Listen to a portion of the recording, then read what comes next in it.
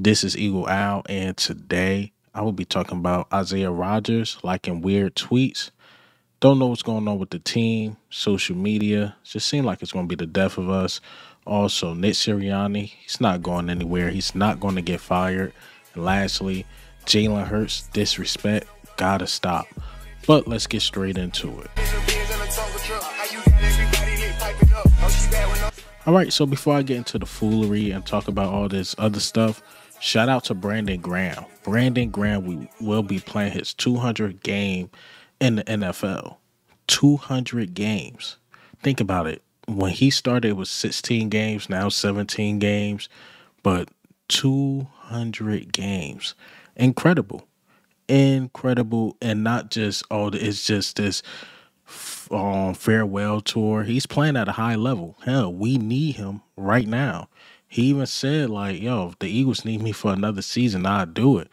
And the way we are going, we might need him for another season. So shout out to Brandon Graham. Right, so let's get into it, man. Let's talk about my guy, Isaiah Rodgers. Y'all know I got love for Isaiah Rodgers. Y'all know it's probably hard for me to make this video talking about him. Because I, I give him credit. He was one of the like first probably like the third or fourth like Eagles guy that you know actually retweeted my stuff and you know showed me love and he showed a lot of content creators love. But we got to talk about this. So there's a, a thing going on in the Colts world. The Colts got some bad cornerbacks. So I mean, terrible cornerbacks. Whereas though if he was playing for the Colts today, he'd easily be cornerback one. So the coach put up something and let me go ahead and read it. So this coach Twitter page put random late night thought. This this move won't happen, but getting Isaiah Rodgers back will help the cornerback room immensely. Wishful thinking though. Then put a like, you know, emoji, then put for the shoe because Colts or shoe made sense. And then this guy responded to it like we all know how bad the Eagles secondary has played this year, which is not true. The secondary haven't been bad, but been the defensive line. And then the fact Isaiah Rodgers has only seen the field for nine total snaps in 2024 should tell y'all something. It should tell us that the Eagles coaching staff is crazy. Always trying to live in the past, but even the past couldn't make this team better. So Isaiah Rodgers responded to this and put a laughing emojis. And then, you know, a lot of Colts fans start, you know, commenting under it. Like, you coming back, bro? You coming back, bro? We need you to come back. And those same Colts fans start exposing them. They like, yo, he's liking my tweet about coming back home. And they screenshotting it. I'm like, oh man. Oh man, they caught you slipping, Isaiah Rodgers. He eventually again deleted the tweet, but yes, they caught him slipping. And the same thing I said about Devin White, I have to say about Isaiah Rodgers. This is some weird shit, man. I mean, this is weird. Now, do I go after the coaching staff or do I go after these players or do I go after Howie Roseman for signing a lot of outside players? Now, I get it. Isaiah Rodgers is more than likely frustrated third best corner on this team. If you had to rank a top three, he should be on the field. He should, but I always say this too about Isaiah Rodgers. He shot himself in the own foot. He should have been open to playing the slot. I'm sorry. Quinyon Mitchell, you drafted him to be an outside corner. You was hurt week one. He showed that he can handle the outside corner position. He's been playing at a high level.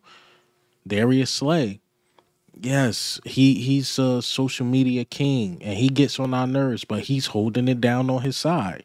Not even think when you played your nine snaps coming in, you were decent, but it, you can't sub out the first round pick. You can't sub out your, you know, your high paid cornerback. I mean, the best spot for him to take or was to take was that slot position. He never took advantage of it. He just didn't take advantage of it. He told the coach. I think I heard him say this on, I think it was the Philly Special podcast. Like, they asked him, Do you want to play outside or do you want to play inside? He said, I want to be an outside corner. Whereas, though, he, in my opinion, his answer should have been, I'm open for anything as long as I'm on the field. Now, did Vic Fangio and these guys probably mislead him? Possibly. They possibly misled him, like how they misled Devin White, and as of today, Devin White is not on the team and released. But this, this still don't make it right because right now he is a Philadelphia Eagle. He is. And liking tweets and stuff about the Colts, that ain't cool. That ain't cool at all. Like, come on, where's the team camaraderie? Where is that? Where's just taking advantage of the opportunities you're getting? That block field goal, that was dope. But fans called you out on the answer you gave about running a defender into Cooper DeJean. That's just how fans are, especially in Philadelphia. It's just how we are. So I, I think it's some weird shit to like tweets about your old team. Devin White, when he was retweeting that Jalen Hurts was getting sacked, that was some weird shit. Both is weird shit. So I don't know what's going on. And I get it. I, I can't really blame Howie because Howie does everything he can do to make the team better. He signed a lot of players. Some of them hit, some of them don't.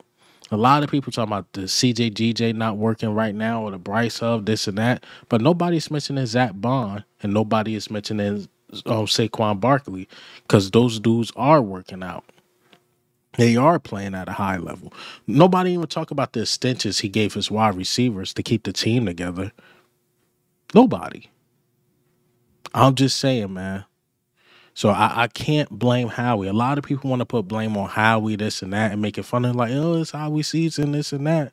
But I, I could say Howie is doing everything he can to make this team better.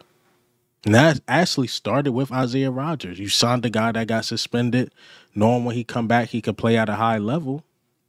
But unfortunately, I'm not sure what's going on. Howie don't call the plays. You know, Vic Fangio taking over the defense, but Vic Fangio did mislead the the Devin White and the Isaiah Rodgers thing. Again, maybe Isaiah Rodgers is just simply frustrated, but two wrongs don't make it right. If you mislay Isaiah Rodgers, that's wrong.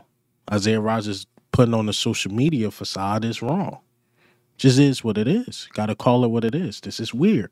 Now, if Isaiah Rodgers want to get traded, he should demand a trade. See what Howie Roseman could get for him. Just keep it like keep it as that. Colts really do need a cornerback. If we could find some way to get a pick from them or even a player, see if it can happen. It is what it is. You don't want to be a part of the team. Fuck it. All right, man. So let's talk about Nick Sirianni. You know, a lot of people were saying like Nick Sirianni's going to get fired. Not mid season. Hell no, not mid season. Hell no. That means you just gave up on the season. That means that the season is over, we trash, and we prepare for next season. No, that's not happening.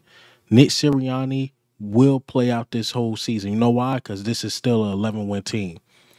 Y'all tell me, how can I say that? Well, I can make a case that our team been decimated in the best situations that we are two and two. The worst case scenarios could have been as us being 0 and 4 and 4 and 0. And I could tell you why. Us being 0 and 4 mean we just flat out suck. 4 0 with bad playing, not knowing what to adjust, that could be the worst thing for us. Because we seen when we went 10 and 1 and when we was winning all those games straight a year ago, the check engine light was on. The engine just blew after the 49ers game because we had holes, we had problems that we didn't adjust. Because one of the things the team kept saying, well, we winning these games, we winning these games. Now you're not winning these games. Now you know you got to adjust. There's stuff you got to change, got to ramp up because people are going to lose their jobs. And I think the Eagles are going to change it up. I really do. I think Nick Sirianni is going to get more play calling to Kellen Moore. I think we're going to see more Saquon Barkley. I don't think Nick Sirianni gets fired. Don't follow the Jets. The Jets is a piece of shit organization. How the hell do you fire the head coach whose responsibility is for the defensive side of the ball and the Jets been playing at a high level on the defensive side of the ball? How the hell do you do that? And you know why um Robert Saleh was fired? I was watching a lot of Jet stuff. Robert um the head coach, he wanted to fire the offensive coordinator, which would would, have been the right move, but Aaron Rodgers liked Nathaniel Hackett so much that they didn't want that to happen. So they fired the head coach. The offense been playing like shit, and the defensive coach or defensive head coach wanted to fire the offensive coordinator. That would have been the right thing to do. It, don't follow that piece of shit organization. Hell no. Don't follow them. That's a piece of shit. Please don't. That organization is dumb, stupid.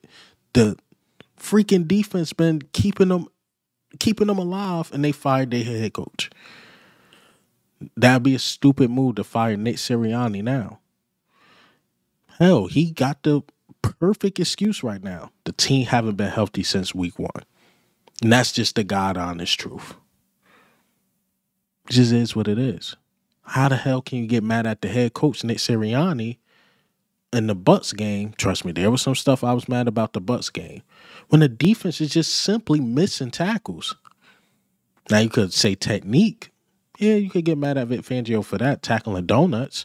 But you can't get mad at the coaching staff if the players are missing tackles. I can't get mad at Nick Sirianni if Jalen Hurts is fumbling and throwing picks.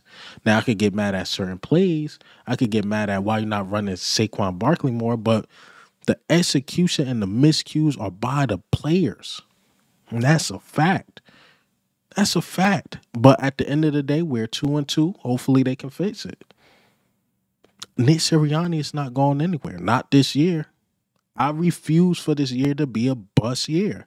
Hell no, we too talented. We're way too talented.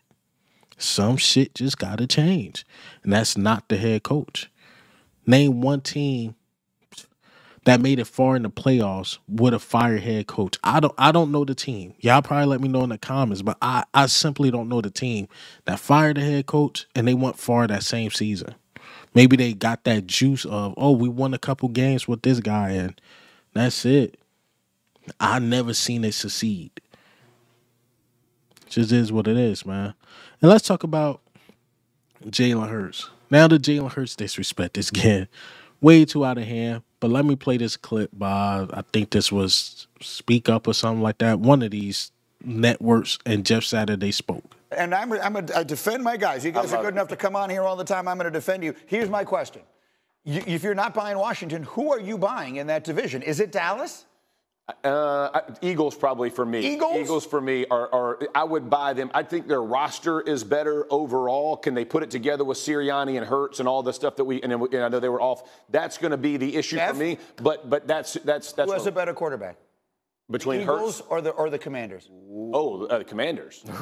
Commanders. Yeah, I mean, look, I mean, I mean, but, but I, he, could, he, ended the question there. You could almost, say, no, no, I'm going to say this. You could almost say that about 28 teams. Like oh. it's that, that's is, why I'm saying they're, really they're going he to is win the division. Really good. Yeah. So the other questions that I think Jeff could have asked you is like, who has a better offensive line? Who has more talent? Who has more experience? Who has more success? But I would say I would still stick with Washington in part because as much as I love all the talent that the Eagles have, there's been a long stretch where they, they have, not been good. Well. And this is like similar to the Kansas City conversation that we had earlier. It's like, I don't want to get captured by what we know in the past. When we look at this team now, this Eagles team has not been good. Right. And Washington team has been getting better through the course of this season, and yeah. I think they will continue to do so.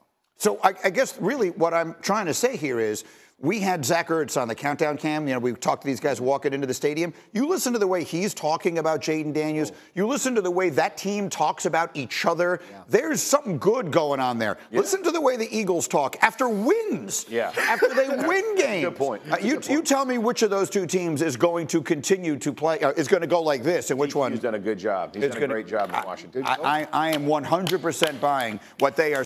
All right, this Jayden Daniel thing is getting out of hand, man. I'm sorry. I seen the Washington Commanders beat the Giants with all field goals. All field goals. That last game, yes, it was a blowout, but they defense shut down Deshaun Watson and Jayden Daniels. He had one good throw, but he was he wasn't that good. He wasn't that good at all against the Browns. He wasn't good when he played one real team. That's the Buccaneers. And the Washington shit the bed against the Buccaneers. It's just the truth. The God honest truth. So this Jayden Daniels is just so much better than Jalen Hurts and this and that. The disrespect got to stop. Now this is getting out of hand. We're talking about a guy that was an All Pro, runner up MVP. Well, now multiple Pro Bowls. We we got to cut it. This season is so out of hand. I've seen shit where Giants fans think Daniel Jones is better than Patrick Mahomes now. This season is getting way out of hand. The successful teams know September, beginning October don't mean nothing. Washington Giants and these dudes are living on the high because they was projected to win like four games. Now Giants won two games, Commanders won four games, and they living on the high right now. But we all know, we all know it all starts in November, December, January football. Let's see how long this can last. We're gonna see how long it can last. But the the Jalen Hurts, man, I get it. He's been fumbling. He hasn't been looking good. But this shit gotta stop. This is getting way out of hand. Way out of hand, man. Again, I can give Jayden Daniels some praise. He's been looking good. Just just give it time. Let's see how the season plays out. Let's see how it plays out first. Y'all was just telling me a couple weeks ago the Saints were this dominant team. And CJ GJ said the Saints ain't shit. They just lost three straight games. I'm just saying, just let it play out. Let it play out and we, we will see. We will see how good Jayden Daniels is. We we will see what what's up, the other team, the Giants are. We will see. But that's all I got for you guys today. And hey man, what do you think? How do you feel about everything, man? Uh went on a small rant. You know, this is more of a rant video. You know, I'm just uh, I don't know, man. But we're gonna go ahead and wrap this up. And this is Eagle Al, man. I'm out.